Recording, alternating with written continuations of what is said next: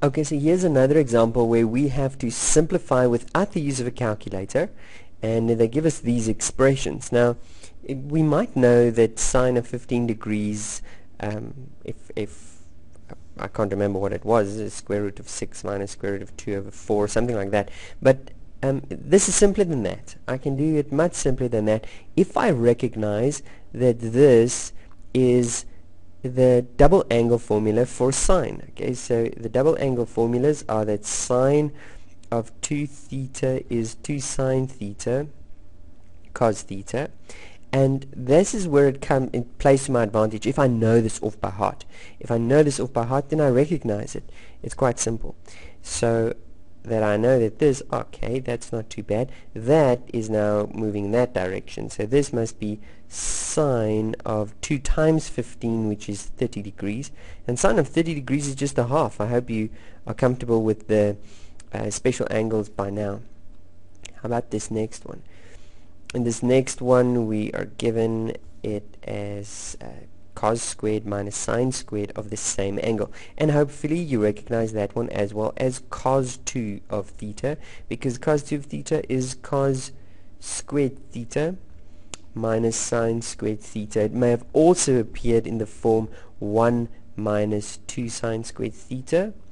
Okay, so this could have also been 1 minus 2 sine squared 22.5 or it could have been 2 cos squared minus uh, 1 okay? So what do we have? This is 1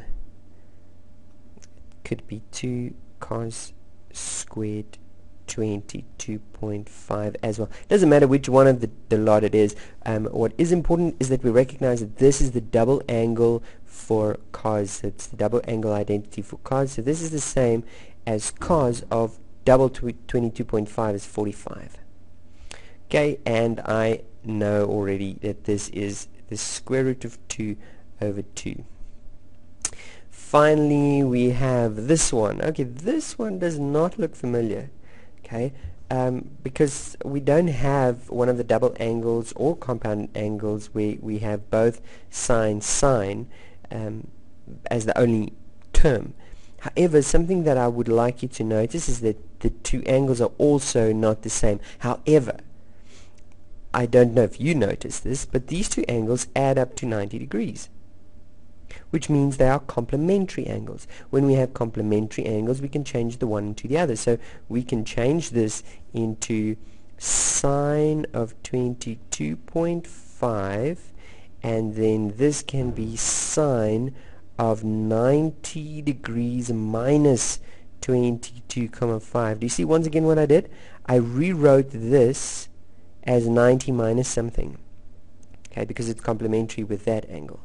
And 90 minus is co it's the the uh, y-axis so we use the complementary functions. So this is sine of 22.5 and this changes to cos of 22.5 okay and at this point we recognize oh it's this it's this but we lack the 2 okay but that's not a problem and just multiply with the 2 no, we can't do that. We can't just multiply with a 2 as we wish, but we can multiply with a 2 and divide by the by 2 at the same time because if we multiply and divide with the same thing, we've not really changed anything.